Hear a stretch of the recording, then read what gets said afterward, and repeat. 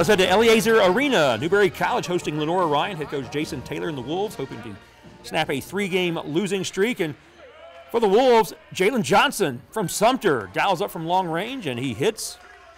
He finished with 12. Then good ball movement by Newberry leads to a corner three by Malik Joseph. He had 11 on the night. Now, Newberry tallied 25 bench points against the Bears from Lenoir-Rhyne, 20 of them coming from Drake Downs, product of nearby Malden. And he helps Newberry overcome a 10 point first half deficit, and the Wolves rally in the second half for a 71 66 win over Lenoir-Rhyne. So the Wolves get a, a good win over a good Lenoir-Rhyne team. And this Saturday, look out, the alma mater, the Coker University Cobras, come to Eleazer Arena for a doubleheader, 2 o'clock with the women, and then the men follow at 4.